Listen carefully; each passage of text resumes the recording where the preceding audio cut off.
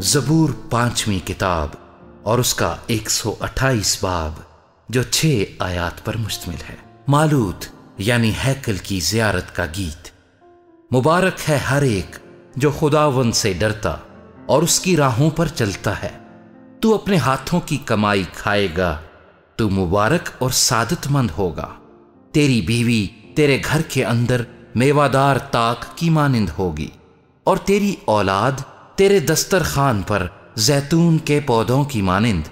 देखो, ऐसी बरकत उसी आदमी को मिलेगी जो खुदावंद से डरता है। खुदावंद सयून में से तुझको बरकत दे, और तू उम्र भर यरूशलीम की भलाई देखे, बल्कि तू अपने बच्चों के बच्चे देखे, इसराइल की सलामती हो।